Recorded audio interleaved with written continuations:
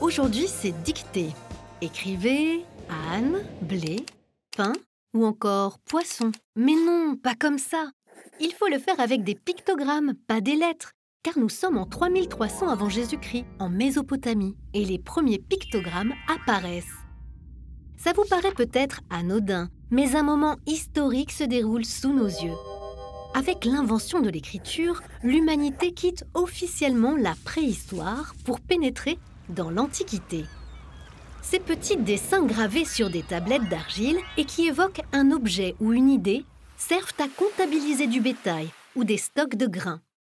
Mais vous avez déjà essayé, vous, de faire de jolis dessins dans de l'argile fraîche? Ce n'est pas facile. Alors, à mesure que le commerce va se développer, l'écriture va se simplifier et passer au cunéiforme, des traits en forme de clous.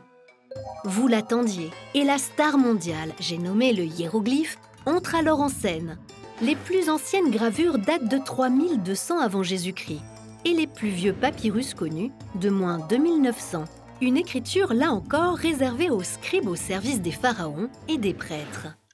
Les siècles passent, les royaumes et le commerce se développent et c'est l'explosion un peu partout au cours du second millénaire avant Jésus-Christ. Des formes d'écriture apparaissent en Chine, en Amérique centrale et bien entendu le long des rivages du Liban, en Phénicie.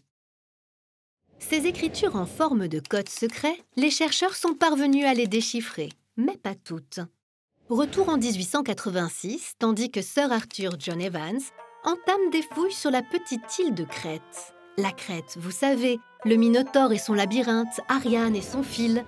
Dans les vestiges des palais en ruine, l'archéologue découvre des tablettes gravées de deux écritures qu'il nommera linéaire A pour la plus ancienne et linéaire B pour celle qui a pris sa suite. Si le linéaire B a livré ses mystères 50 ans plus tard, ceux du linéaire A résistent encore.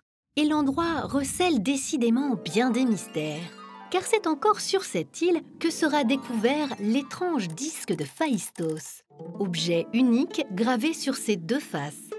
Concernant son usage, sa signification, voire son authenticité pour certains, c'est, là encore, mystère et boule de gomme. Ce passé, qui nous nargue avec ses secrets, c'est agaçant. Et les chercheurs n'ont pas dit leur dernier mot. Désormais, c'est l'intelligence artificielle qui est appelée à l'aide. Et au célèbre Massachusetts Institute of Technology, on s'est associé avec Google pour créer une machine qui travaille jour et nuit à tenter de craquer le bien mystérieux linéaire A. Waouh, c'est l'Antiquité Et pourtant, on se croirait presque dans un film de James Bond.